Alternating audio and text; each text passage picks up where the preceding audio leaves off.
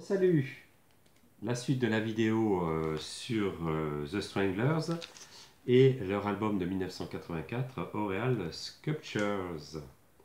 Alors, je vais en profiter pour faire un petit unboxing. J'ai réussi à mettre la main sur la réédition de 2011. Parce qu'il y a eu aussi également une réédition de The Raven, The Raven aussi en 2011, qui est introuvable, qui est hors de prix. Et il y avait eu la réédition de, Oral Sculpture, oh, c'est Oral Sculpture, avec pas mal de titres qui sont sortis en single. On les détaillera ensuite. Et là, qu'est-ce qu'on a? Qu'est-ce qu'on a avec cet album? Voilà, qu'est-ce qu'on a? Euh, On a donc l'album normal, 180 grammes, très beau macaron, qui est refait dans la tradition des éditions de l'édition des éditions originales. Et euh, il ne s'agit pas d'un gatefold, non. Et on a en bonus, on a un voilà. On a donc euh, Skin Deep Extended Version 7.12 Here and There 4.21 inédit. In Door inédit euh, de, 55. No Merci. Clement Mix 647 Maxi. Vladimir and the Best 3.53. Il s'agit des inédits et des versions remixées des deux singles Skin Deep et No Merci, extrait de l'album donc de 1984 et qui sont sortis ces singles en 83 et 84. Euh, ensuite, on a en face B Let Me Down Easy Extended Version 633, End on the Line inédit, Ashi's Hill 255, Place the Victoires 410, Vladimir Goes to Havana. Donc il s'agit euh, du maxi Let Me Down Easy Extended Version et des inédits de ce maxi. Voilà, très, très belle édition avec ces, versions inédites pour ceux qui n'ont pas les maxi. C'est idéal avec une très jolie sous-pochette. Très très très bon album qui est tiré à euh, Remaster. Non, c'est pas. il y a marqué Expanded Limited. Euh, c'est pas une, édition limitée de Music on Vinyl de chez Universal Music. On va comparer avec le pressage original français de 1984. déjà, euh, qu'est-ce qui est différent? Non, c'est pas tellement différent que ça. Hein. Vous voyez? Ça, c'est la copie. Ça, c'est l'original. Et donc, même, même pochette. Hein. Si ce n'est une pochette un petit peu plus foncée, qui a foncé avec le temps. Et on a par contre très beau macaron. Un très beau macaron. Voilà. Il s'agit de pressage évidemment de chez Epic. Epic, euh, pressage hollandais, diffusion dans toute l'Europe et la France, y compris sauf le Royaume-Uni.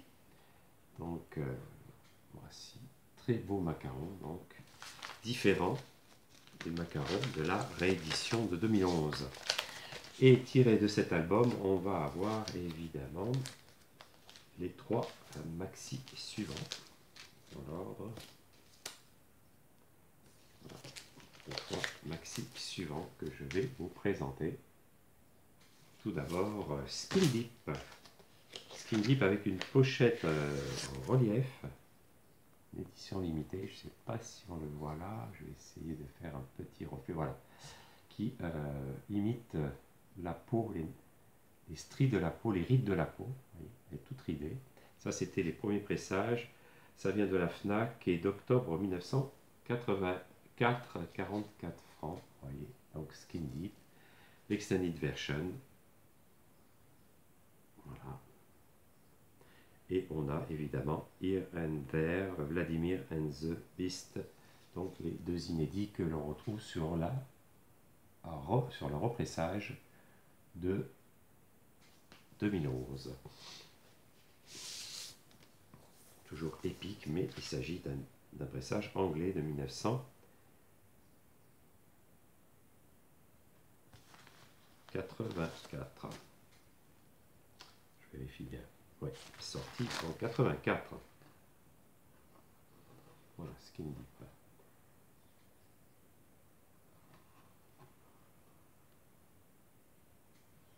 Skin Deep version qui dure, qui dure, qui dure, qui dure.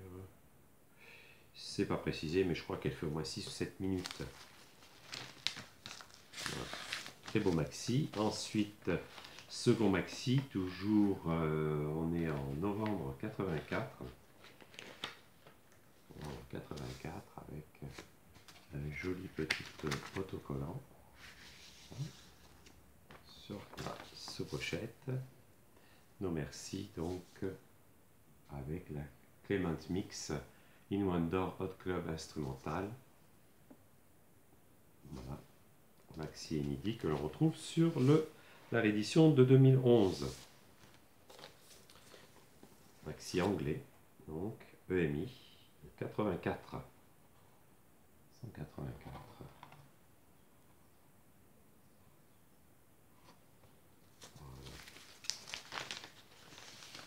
Clément Mix. Et enfin, donc ça c'est sorti je crois en 85, c'est ça.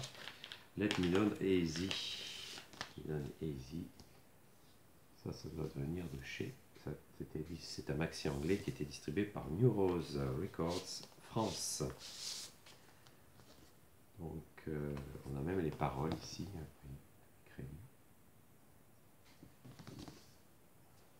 Ici, donc, et c'est la version 6 minutes 30. Version. Donc,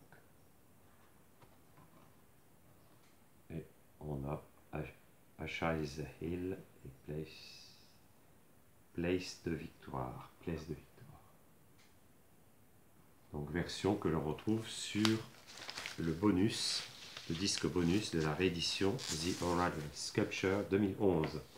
Ensuite, on a en 1986 normalement le fameux album euh, Dreamtime de The Strangers qui va euh, contenir Always the Sun et, évidemment Nice in Nice et Big in America et Chicken Like a Leaf. On a quatre singles issus de cet album notamment le Always the Sun qui avait fait un tube été, printemps-été 1986. Il s'agit du pressage français, mais toujours pareil, de chez Epic Hollande, distribué en France par Epic. Donc, euh, sous-pochette, soigné, qui reprend le pressage anglais avec un macaron évidemment générique de chez Epic. Chez Epic de 1900. 86 CBS Records. CBS Records. Et on a le maxi diffusé en France par Epic Hollande, euh, Always euh, the Sun, la Hot Mix version. La Hot Mix version avec notamment un Always the Sun Hot Mix 558 bonne version extended. Et on a euh, Norman normal et Soul, une version live. Toujours des inédits, hein. souvent, souvent, très souvent des inédits en phase B. Excellent inédit que l'on retrouve sur des compilations de phase B en CD ou sur les bonus CD avec bonus des albums des Stranglers. Donc Hot Mix version, très jolie pochette. Et on a évidemment le single Big in America de 1986. Maxi anglais. Big in America. Une influence toujours américaine des États-Unis pour la pop rock et le rock américain. C'est un groupe qui est très influencé par le pop rock américain. From the new album Dreamtime.